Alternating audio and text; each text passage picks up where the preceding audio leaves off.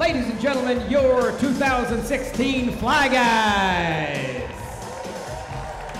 Catch them at the end of the sixth inning of every Fireflies home game.